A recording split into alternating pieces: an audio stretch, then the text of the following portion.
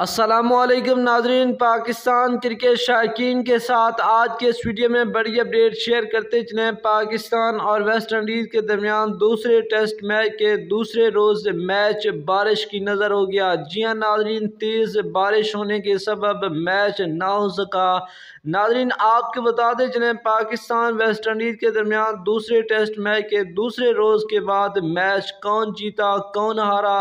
आज के इस वीडियो में आपके मुकम्मल अपडेट के साथ आगाह करते हैं। इससे पहले अगर आपने अभी तक हमारी वीडियो को लाइक नहीं किया तो वीडियो को लाइक कर दें। चैनल पर पहली मरतबा विज़िट कर रहे तो चैनल को सब्सक्राइब करके साथ लगे बेल आइकन को भी प्रेस कर दें, ताकि आपको क्रिकेट के हवाले से तमाम तर अपडेट्स वक्त पर मिलती रहें। तो नाजरीन, आपने नीचे कमेंट सेशन में ये ज़रूर कमेंट करके बताना, आपके ख्याल में दूसरे टेस्ट मैच का फैसला किसके हक में जाना चाहिए? पाकिस्तान के वेस्ट इंडीज़ के या मैच ड्रा होना चाहिए। नीचे कमेंट सेक्शन में अपनी राय का इजहार ज़रूर करना।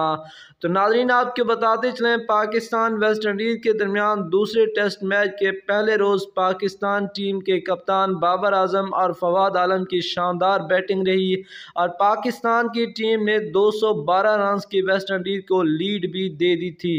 नाजरीन, आपके बताते चलें, दूसरे दिन पाकिस्तान वेस्ट इंडीज़ के दरमियान मैच के दौरान बारह बारिश हो गई थी जिसमें सिर्फ़ मैच तीन ओवर्स का ही हो सका।